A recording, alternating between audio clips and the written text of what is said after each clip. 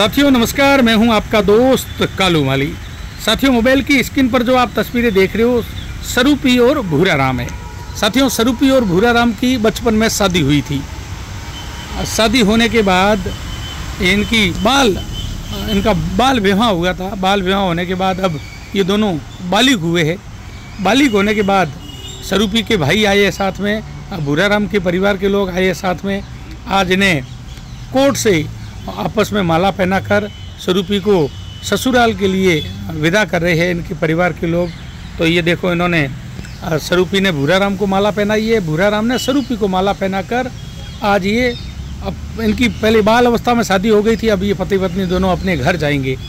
तो अपन भूरा राम से भी बात करेंगे स्वरूपी से बात करेंगे स्वरूपी के बड़े भाई है साथ में आए हैं, उनसे भी बात करेंगे, इनसे जानकारी लेंगे इनकी कब शादी हुई थी अब ये बाल वापस बालिग हुए हैं तो अब स्वरूपी अपने ससुराल जा रही है। तो ये कोर्ट में पहुँचे थे। इन्होंने माला वाला पहनकर अभी ये अपने स्वरूपी अपने ससुराल जा रही है। भूराराम साथ में है। चलो, इनके परिवार के लोगों से बात करते हैं। स्वरूपी के भाई से बात करेंगे। भूराराम के परिवार से भी कुछ लोगों से बात करेंगे। धन्यवाद। एक बार शेयर कर दो इस पोस्ट को, साथियों। ये राज्य खुशी दोनों शादी करके घर जा रहे हैं। ये स्वरूपी के बड़े भाई है। स्वरूपी को आशीर्वाद देकर अपन बात करते हैं स्वरूपी के बड़े भाई साहब से।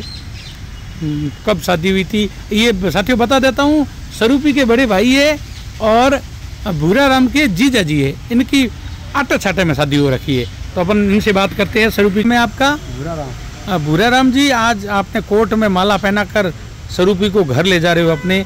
क्या मतलब कब शादी हुई थी कैसे हुई थी और कौन से समाज से हो आप? हम विश्वात्री समाज से है गाँव मेरा नौकरा है छोटा था शादी हुई थी 2006 में। और उसी समय लड़की के पिताजी भाई सब मना कर दिए थे तब वो मिलने के लिए तैयार नहीं थे। क्यों? अब लड़की ऐसे ही छोटी बाल ब्याह था हाँ। इसलिए नहीं मिल रहा था। हम्म। अब ये लड़की खुद आ रही है उम्र हो- बरोबर हो गई अब। हाँ। तो कब आपकी शादी हुई थी? 2006 में। 2006 छः में। तो आपका पूरा नाम क्या है? परिवार का नाम क्या पिता का नाम क्या है? कहाँ के रहने वाले हो? मेरा नाम भूरा राम है हाँ। और पिता का नाम मोहनलाल है। जाति दिशांतरी है भार्गव और गाँव नोखड़ा है। तो आज अभी आपके साथ स्वरूपी के परिवार से कौन आया है? ये स्वरूपी का भाई है बड़ा। हाँ।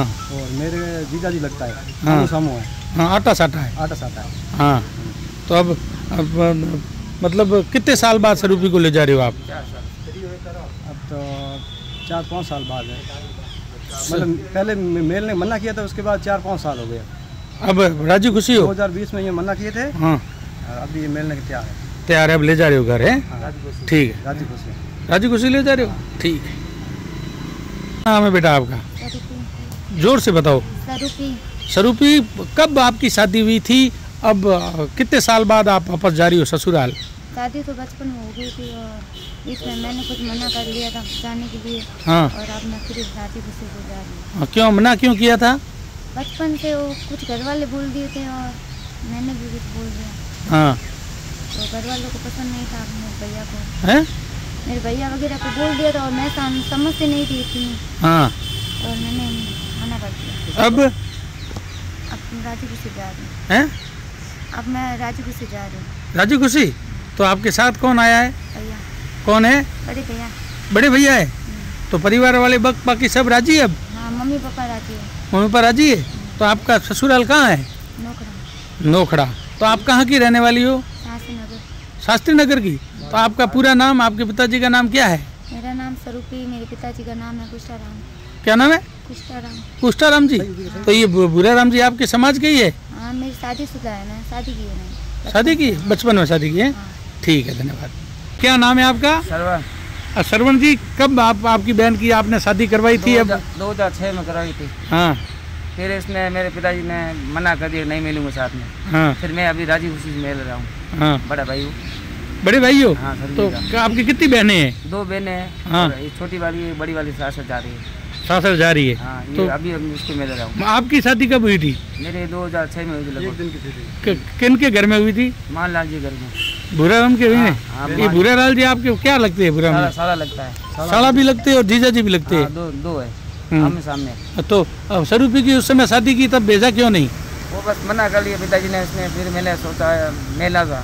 आगे घर में ही है। हाँ। फिर दूसरे घर में नहीं मेलना है। हाँ। फिर इसलिए राज़ी खुशी मेल गया। तो सरूपी ने पहले मना क्यों किया था? सर ने नहीं मिला किया पिताजी ने मना किया था। ये बच्ची थी इसको हाँ। मालूम समझ नहीं नहीं इसको? समझ नहीं आई थी बच्ची समझ में नहीं आई थी हाँ। तो अब अब राज़ी कुशी मेल रहा हूँ हम्म, तो आपका क्या नाम है पूरा? सरवन। पिताजी का नाम? राम जी। कहाँ के निवासी हो? सासनगर बाड़मेर के ही? हाँ। तो अब ये स्वरूपी का ससुराल कहाँ है? नौकड़ा।